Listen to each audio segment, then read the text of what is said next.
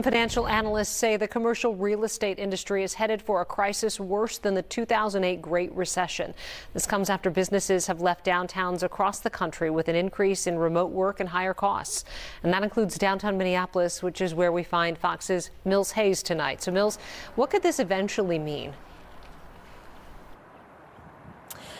Kelsey, many of uh, these downtown buildings are owned by investment firms and they rely on banks for loans. But now that there is less demand for office space, less businesses are renting from these investment firms. And now there is some concern from financial analysts that uh, these investment firms may not be able to pay the banks back.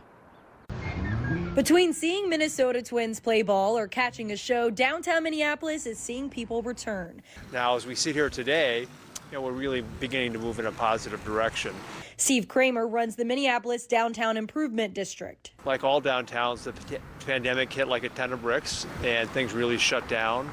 Then we, of course, had the murder of George Floyd here in our city, and that caused civil unrest here and it had implications around the around the country, around the globe. Last week, AT&T announced it was leaving for the suburbs. If people are working from home a lot more now, um, if they do want to go into the office, they're going to want somewhere nearby. According to CBRE Global Commercial Real Estate Services, in New York City, there has been a 7.6% increase in vacant buildings since the pandemic. In Seattle, an 8.2% increase, and in San Francisco, a whopping 25.4% increase.